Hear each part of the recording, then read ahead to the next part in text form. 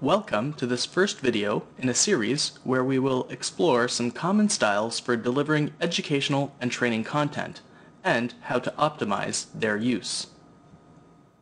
I'm Eric. I'll be leading you through our discussion on three delivery styles, having your learners read, listen, and practice.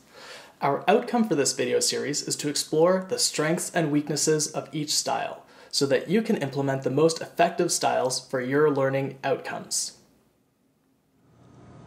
Learners can learn by reading, listening, and practicing, among other styles. Various types of activities fall within each of these three styles as listed here. After a brief overview, we will discuss reading, listening, then practicing. As an overview, let's compare these different styles. Often, content is delivered using these three styles in this order do your readings, come to class, listen to the lecture, then complete some practice questions.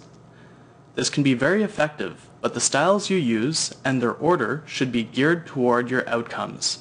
So experiment with style and order, see how learners engage, ask for feedback, and measure retention. These styles are also on a spectrum. As we move down the spectrum, we are required to focus on more specific parts of the content. We lose breadth.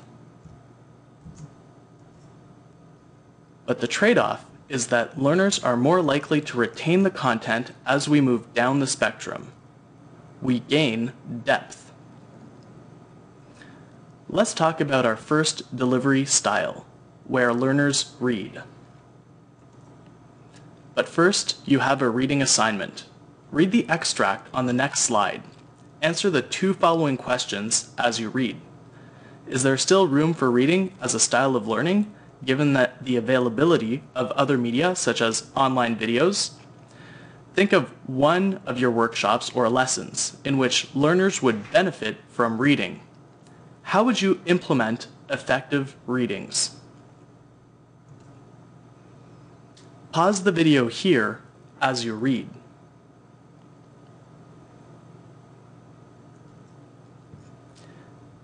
It would have been a challenge to lecture all of the information contained in the previous slide. This example illustrates how reading can make difficult content or a large volume of content more accessible to learners. High-level study questions, rather than factual ones, guide learners through the readings, and help them understand their relevance. You can even coach learners to read strategically, such as reading headings first and making marginal notes. If reading online articles, learners can use GistNote, a Chrome extension, to highlight text on any website. In our next video, we will cover how learners learn through listening.